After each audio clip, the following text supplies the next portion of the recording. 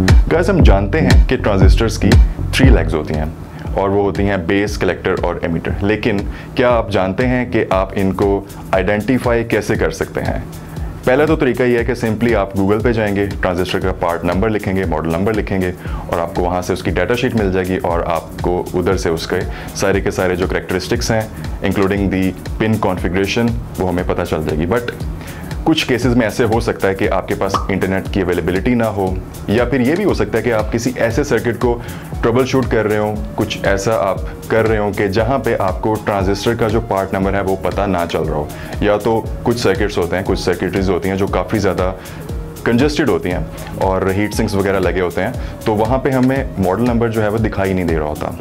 तो ऐसे में हम क्या कर सकते हैं? ऐसे में हमारे पास एक मल्टीमीटर का होना ज़रूरी है और बस, और कुछ भी नहीं। तो अब मैं आपको बताता हूँ कि आप ट्रांजिस्टर की जो पिन कॉन्फ़िगरेशन होती है, उसका बेस कलेक्टर और एमीटर होता है, वो किस तरह से डिटेक्ट कर सकते हैं। तो गाइज़ मैंने एक शीट बनाई है, जैसा कि आप देख सकते हैं फॉर योर बेटर अंडरस्टैंडिंग ताकि आपको अच्छी तरह से मैं समझा सकूँ।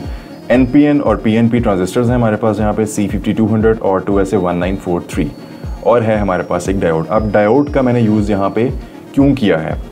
अब जानते हैं कि इंटरनल सर्किटरी जो होती है हमारे ट्रांजिस्टर्स की, वो पी एन जंक्शन पे बेस्ड होती है, जिस पे हमारा डायोड बेस्ड होता है। तो इससे आपको क्लियर अंडरस्टैंडिंग हो जाएगी। सबसे पहले मैं आपको डायोड की जो मेयरमेंट्स हैं, वो करके दिखाता हूँ कि हम एक डायोड को जब मेयर करते हैं हमारे मल्टीमीटर से तो एनोड को और कैथोड को हम किस तरह से मेयर करते हैं? जो पॉजिटिव प्रोब होती है हमारे मल्टीमीटर की, वो हम रखते हैं एनोड पर। और जो नेगेटिव प्रोब होती है, वो हम रखते हैं कैथोड पर। तो हमें वैल्यू शो होती है। अगर हम इसी को ओलट कर देंगे तो हमें कोई वैल्यू शो नहीं होगी। जैसा कि आप देख सकते हैं, ये जो डायोड है, जो कि मैंने पीएनपी जो हमारा ट्रांजिस्टर है, उसकी जगह के ऊपर लगाया था, इसकी भी हमें वैल्यू इस तरह से शो हो रही है। जैसे कि आप जानते हैं, हमारे पास होता है बेस कलेक्टर और एमीटर और जो डायग्राम होती है ट्रांजिस्टर की, वो कुछ इस तरह से होती है, जैसा कि आप देख रहे हैं। मैं आपके सामने लिख रहा हूँ बेस कलेक्टर और एमीटर ताकि आपको और अच्छी तरह से पता चल जाए।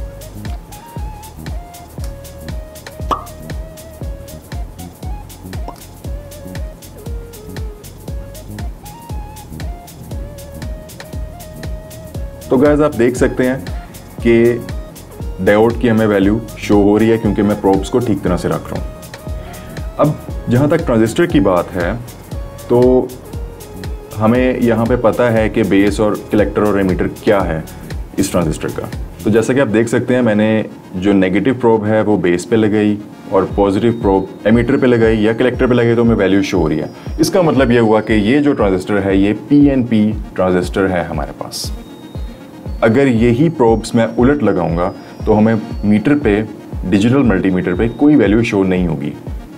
तो इसका मतलब ये हुआ कि ये जो ट्रांजिस्टर है हमारे पास, ये PNP ट्रांजिस्टर है।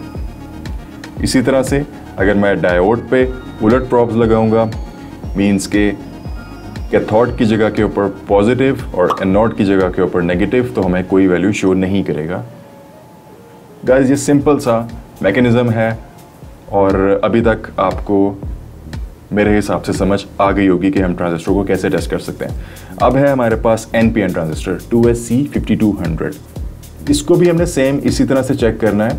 बट ये होगा कि जो पॉजिटिव प्रोब है, वो हम बेस पे रखेंगे और नेगेटिव हम कलेक्टर या मीटर पे रखेंगे तो हमें वैल्यू शो हो जाएगी। तो इट मीन्स कि ये हमारे पास एन पी एन ट्रांजिस्टर है।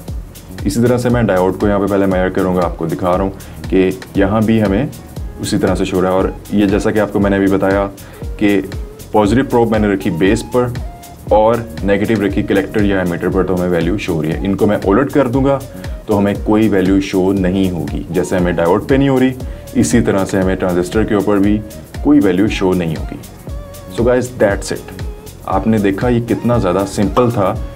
किसी भी ट्रांजिस्टर की जो पिन कॉन्फ़िगरेशन है, उसको डिटरमिन करना। बेस कलेक्टर और एमिटर को डिटरमिन करना।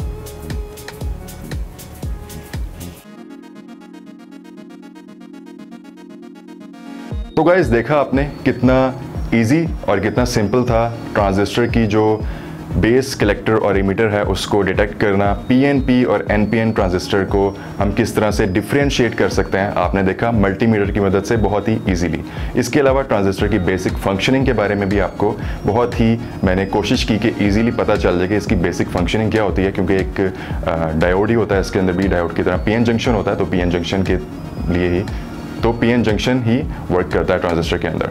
सो गाइज़ उम्मीद करता हूँ आपको वीडियो पसंद आई होगी। अगर वीडियो पसंद आई है तो चैनल को सब्सक्राइब अगर आप न्यू हैं और वीडियो को जाते जाते लाइक ज़रूर कीजिएगा। मिलते हैं नेक्स्ट वीडियो में।